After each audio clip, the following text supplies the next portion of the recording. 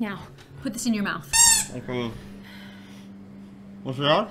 It's instructions on how to remove a bullet. Oh. Step one sterile gloves. Check. Are they still? Well, let's hope so. Step two clean wound with antiseptic. Is that funny? Yeah, well, they didn't have any rubbing alcohol or hard liquor, so. Okay. Okay. Jesus Christ! Oh, honey, Oh, oh, I'm sorry, I'm sorry, I'm sorry, I'm sorry.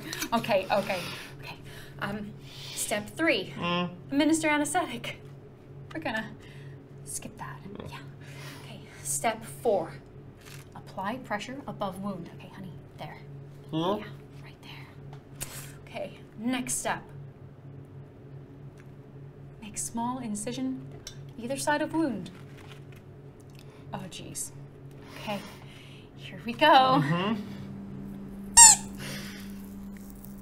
Small, small, honey, small. It's, it's a bullet, not a golf ball. Small. Okay, well, well, I'm sorry. I, don't, I don't really know. I okay. Next step. Yeah? Yeah. Oh shoot, What? my phone went asleep. Hang on. Just set it so it stays on. My phone doesn't do that. We have the same phone, honey. It definitely does that. No, it's fine. I'll just touch it with my nose every 30 seconds. Why are you so afraid of your phone? Just, just go to settings and then display and change the time before it reverts to sleep mode. Revert. What are you, Steve Jobs? This is the easiest thing, honey. Please. You know what? Enough. I know what I'm doing.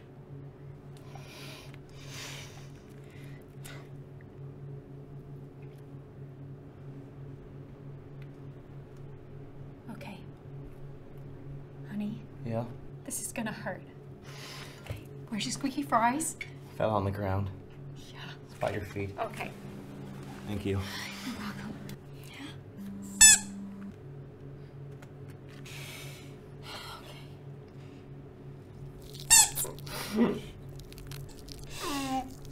God, I think I found something hard. No. Yeah, I think I found the bullet. Look. God, it's really wedged in there. Uh, Your black won't it come out. God. Oh, wait. Oh, honey. That's bone. Bone. I'm really sorry. Oh, God. Um, I can't find it. Um, hey, Siri, what happens when you can't find a bullet? Okay, I found this on the web for what happens when you can't find a bullet. Check it out. Check it out. Check it out. Honey, did you get shot twice? Honey, that's that's an exit wound. You, you know, ex- exit.